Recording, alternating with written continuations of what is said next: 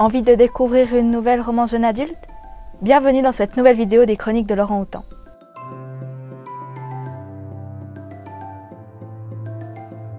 Aujourd'hui, je vais vous présenter Paradise, qui est une saga qui est constituée de deux tomes. Donc Paradise, le premier tome, et Retour à Paradise, le deuxième tome. Ils ont été édités chez la Martinière Jeunesse Fiction, puis chez le Livre de Poche. L'auteur s'appelle Simon Elkeles. Elle est américaine et elle est surtout connue pour sa saga Irrésistible Alchimie, grâce à laquelle elle a gagné le prix de la meilleure romance jeune adulte. Elle a également écrit une autre saga, donc Attraction et Confusion, qui est constituée de deux tomes. Pour l'histoire de Paradise, nous allons suivre Maggie, qui est une jeune adolescente qui retourne au lycée après une année d'absence.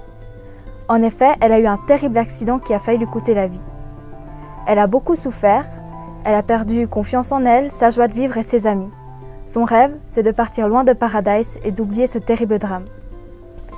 D'un autre côté, on a Caleb qui sort de prison. Pour cause, il a shooté une fille, en état d'ivresse, Maggie, et a quitté les lieux de l'accident. Les deux personnages qui avaient l'espoir de ne jamais se revoir vont devoir se faire face. Maggie commence à se confier à Caleb et de son côté, Caleb commence à raconter son année en prison.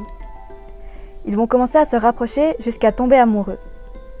Et comme le dit le slogan du livre, deux destins brisés, un amour hors norme. Maggie pardonnera-t-elle à Caleb?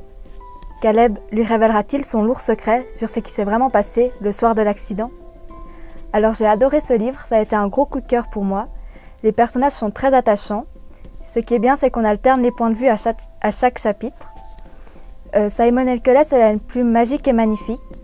Elle aborde aussi des sujets difficiles comme le handicap, les accidents de la route et les problèmes familiaux.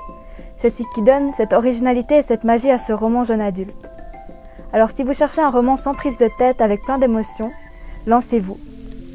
Merci d'avoir regardé cette vidéo, n'hésitez pas à la partager et nous suivre sur les réseaux sociaux Signé Lausanne.